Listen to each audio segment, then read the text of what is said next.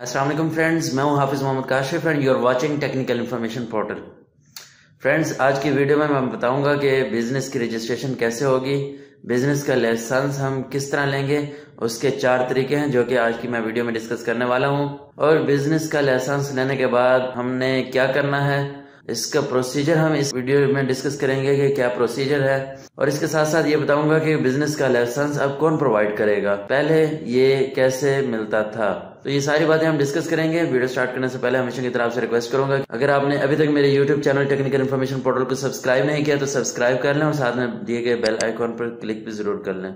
इससे होगा कि मेरे तमाम आने वाली वीडियोस आपको सबसे पहले मिलती रहेंगी। अगर आप मुझे अदर सोशल मीडिया अकाउंट्स पर ज्वाइन करना चाहते हैं, जहाँ पर मैं डेली अपडेट्स करता रहता हूँ तो उसके लिंक भी वीडियो डिस्क्रिप्शन में मौजूद है। फेसबुक का पेज है टेक्निकल इन्फॉर्मेशन पोर्टल के नाम से। आप उसे फॉलो कर सकते हैं। इंस्टाग्राम पर मुझे ज्वाइन कर सकते हैं, कुछ पूछ सकते हैं। अगर आप कुछ पूछना चाहते हैं, कुछ सजेस्ट करना चाहते हैं, या कुछ ओपिनियन है, वो मुझे देना चाहते हैं, या वीडियो के बारे में कुछ बताना चाहते हैं, जिससे मैं अपनी वीडियो में इंप्रूवमेंट ला सकूँ, या आप किसी टॉपिक पर वीडियो चाहते हैं, मुझे कमेंट बॉक्स में आप कमेंट कर सकते हैं। मैं कोशिश करूँगा कि आपको उस टॉपिक पर वीडियो प्रोवाइड करूँ। फ्रेंड्स इसके साथ साथ आप मेरी वीडियो को लाइक कर दें, क्योंकि आप वीडियो को लाइक करना भूल जाते हैं। हो सके तो दोस्तों के साथ शेयर भी ज़रूर करें। टॉपिक की तरफ़ चलते हैं। फ्रेंड्स सबसे पहले गुड न्यूज़ है कि एफ़ ने ये अनाउंस किया है कि हम इनकम टैक्स ऑर्डिनेंस 2002 है, जिसमें बिज़नेस रजिस्ट्रेशन का प्रोसेस था। तो हम उसे अमेंड करने लगे हैं उसे चेंज करने लगे हैं कि इस अमेंडमेंट के बाद FBR federal board of revenue आपको बिज़नेस लाइसेंस दिया करेगा बिज़नेस की रजिस्ट्रेशन किया करेगा। इसकी ज़रूरत इसलिए पेश आई कि जो ऑलरेडी इनकम टैक्स 2002 में जो ऑर्डिनेंस था, जिसके तहत बिज़नेस रजिस्ट्रेशन होती थी, वो बहुत टफ था, वो टाइम लेता था बहुत सारा। तो इससे ये होता था क्योंकि बहुत सारे बिजनेसमैन जो छोटे लेवल पर बिज़नेस करते थे, या और भी बहुत सारे जो इस प्रोसीजर को फॉलो नहीं कर सकते थे कॉम्प्लिकेटेड प्रोसीजर था, वो बिज़नेस लाइसेंस लिए बगैर बिज़नेस की रजिस्ट्रेशन कराए बगैर अपना बिज़नेस स्टार्ट कर देते थे। इसी तरह वो एंटीएन भी नहीं बनवाते थे। इस तरह वो अपनी टैक्स रिटर्न फ़ाइल नहीं करते थे, अपने टैक्स की चोरी करते थे टैक्स अपना बचा लेते थे। और उसकी मेन वजह क्या थी कि इसका जो प्रोसीजर था वो बहुत कॉम्प्लिकेटेड था। और बहुत ही लेंथी था टाइम लेता था। तो इसी वजह से अमेंडमेंट का सोचा गया है। तो अब रिसेंटली एफ़ ने अनाउंस किया है कि बिज़नेस की जो रजिस्ट्रेशन होगी बिज़नेस लाइसेंस होगा, वो फेडरल बोर्ड ऑफ़ रेवेन्यू देगा। तो किस तरह देगा? जस्ट आपने एक एप्लीकेशन लिखनी है। एप्लीकेशन लिखकर अपना लाइसेंस ले लेना है। उसके चार तरीके हैं, इसे फर्दर मैं एक्सप्लेन करता हूँ। कौन कौन से चार तरीके हैं? पहला तो ये है कि आप फेडरल बोर्ड ऑफ़ रेवेन्यू की साइट पर जाए और अपना लॉग करें। लॉग में यानी कि अपने आईआरआईएस अकाउंट पर जाए। आई अकाउंट पर जाके लॉगिन करें। लॉगिन करने के बाद आपको जो फ़र्स्ट मेथड है, आपको एप्लीकेशन दी जा सकती है। वहाँ से ऑनलाइन एप्लीकेशन फिल करें। ऑनलाइन एप्लीकेशन फिल करने के बाद आप अपना लाइसेंस ले सकते हैं। लाइसेंस जो है सिस्टम जनरेटेड होगा, वो आपको ईमेल की जा सकती है। सेकंड मेथड ये है कि एफ़ जो भी सॉफ्टवेयर रिकमेंड करे, जो भी एप्लीकेशन का फॉर्मेट रिकमेंड करेगा, आपने जस्ट वो फिल करनी है और अपना लाइसेंस ले लेना है। तीसरा मेथड प्रोसीजर ये होगा कि आपको एक सेलफोन रिक्वायर्ड होगा जो कि हर किसी के पास है और साथ में इंटरनेट रिक्वायर्ड होगा और इंटरनेट के थ्रू आप अपनी एप्लीकेशन को फ़ाइल करेंगे, अपनी एप्लीकेशन सबमिट करेंगे तो आपको ईमेल के थ्रू आपका सिस्टम जनरेटेड लाइसेंस आपको फ़ौरन मिल जाएगा। चौथा तरीका यह है कि अगर आपके पास सेलफोन भी नहीं है इंटरनेट भी नहीं है, या आप एप्लीकेशन नहीं लिखना जानते हैं तो आप अपने कंसल्टेंट के थ्रू या जो भी ये काम करता हो, आप उसके थ्रू अपना लाइसेंस बनवा सकते हैं। इसके लिए आपको किस किस चीज़ की ज़रूरत होगी?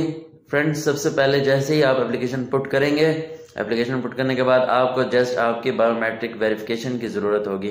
आप अपनी बायोमेट्रिक वेरिफिकेशन करवाएँगे और अपना लाइसेंस ले लेंगे। फ्रेंड अगर आपके पास सेलफोन भी नहीं है, आप किसी से हेल्प भी नहीं लेना चाहते, आप किसी से, किसी कंसल्टेंट के पास भी नहीं जाना चाहते तो आप रीजनल टैक्स ऑफ़िस चले जाएँ। वहाँ जाकर अपनी इन्फॉर्मेशन दें, वहाँ अपनी बायोमेट्रिक वेरिफिकेशन करवाएँ। बायोमेट्रिक वेरिफिकेशन के बाद तो आप फ़ौरन अपने बिज़नेस की रजिस्ट्रेशन करवा सकते हैं। आप सिस्टम जनरेटेड लाइसेंस फ़ौरन आप वहाँ से ले सकते हैं। लेकिन उसके लिए आपको इतना वेट करना होगा जब तक ये अमेंडमेंट हो नहीं जाती। अभी ये प्रपोज की गई है, मैं आपके सामने रख रहा हूँ। जिस तरह भी अमेंडमेंट होती रहेंगी, जो इन्फॉर्मेशन आती रहेंगी, मैं आपके सामने लाता रहूँगा। लेकिन वो आपको सारी इन्फॉर्मेशन किस तरह मिलेंगी? एक दो बार फिर बता दूँ, आपको मेरे चैनल को सब्सक्राइब करना होगा। और साथ में दिए गए बेल आइकन पर क्लिक करना होगा। इससे होगा कि जो भी मैं अपडेट लाऊँगा, सबसे पहले नोटिफिकेशन मिल जाएगा। तो फ्रेंड्स जो भी बिज़नेस इंडिविजुअल है, उसने अपने 2019 की टैक्स रिटर्न फ़ाइल करवाई है तो वो ये कंसिडर किया जाएगा कि उसने बिज़नेस का लाइसेंस लेना है तो उसे अपनी एप्लीकेशन फ़ाइल करनी होगी। एप्लीकेशन फ़ाइल करने के बाद अपने बायोमेट्रिक वेरिफिकेशन करवानी होगी, उसके बाद उससे भी ईमेल के थ्रू उसका जो बिज़नेस लाइसेंस है, वो मिल जाएगा। फ्रेंड्स बिज़नेस लाइसेंस मिलने के बाद आपको क्या करना है? सबसे पहला काम ये करना है, जो रोल में प्रपोज किया गया है। वो लाइसेंस आप अपनी बिज़नेस प्लेस पर अवेजा कर देंगे, वो लगा देंगे किसी ऐसी प्लेस पर जहाँ पर नज़र आए। तो फ्रेंड्स अब पेनल्टी की बात कर लेते हैं। जो बिज़नेस लाइसेंस नहीं बनवाएगा बिज़नेस रजिस्ट्रेशन नहीं करवाएगा, उसे कितनी पेनल्टी लगेगी, क्या होगा? सबसे पहले तो जो प्रपोज किया गया है कि 5000 से 20000 तक की पेनल्टी उसे चार्ज की जाएगी, जो अपना बिज़नेस लाइसेंस नहीं बनवाएगा। अगर आप अपने बिज़नेस की नेचर चेंज करना चाहते हैं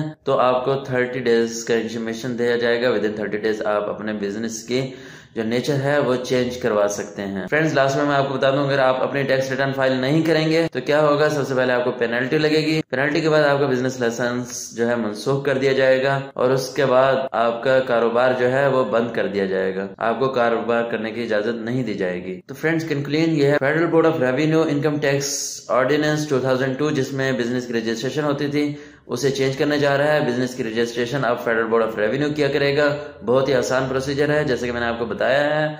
और पेनल्टी के बारे में मैंने आपको बता दिया है। तो फ्रेंड्स इसके साथ साथ अगर आप बिज़नेस की टैक्स रिटर्न फ़ाइल करना चाहते हैं, किस तरह फ़ाइल होगी, उसके ऊपर मैं वीडियो बना चुका हूँ, आप देख सकते हैं। अगर आप दुकानदार हैं स्मॉल शॉपकीपर्स हैं, और फिक्स टैक्स जो अनाउंस किया गया है, वो प्रपोज किया गया है फिक्स टैक्स की रिटर्न फ़ाइल किस तरह करेंगे स्मॉल शॉपकीपर्स की डेफिनेशन में कौन कौन आएँगे, और उसके ऊपर फिक्स टैक्स कैसे हमने कैलकुलेट करने हैं, उसके ऊपर मैं वीडियो बना चुका हूँ, आप वीडियो देख सकते हैं। तो फ्रेंड्स जाते जाते आपसे एक दफ़ा फिर रिक्वेस्ट करूँगा। कि अगर आपने अभी तक मेरे YouTube channel technical information product को सब्सक्राइब नहीं किया सब्सक्राइब कर लें और साथ में दिए गए बेल आइकन पर क्लिक भी ज़रूर कर लें और वीडियो डिस्क्रिप्शन में दिए गए मेरे अदर सोशल मीडिया अकाउंट्स पर भी मुझे ज्वाइन कर लें ताकि आपको लेटेस्ट अपडेट मिलती रहे। फ्रेंड्स वीडियो को लाइक कर दें, दोस्तों के साथ शेयर करें। इसी के साथ ही हाफिज मोहम्मद काशिफ को इजाज़त दीजिएगा। अल्लाह हाफिज।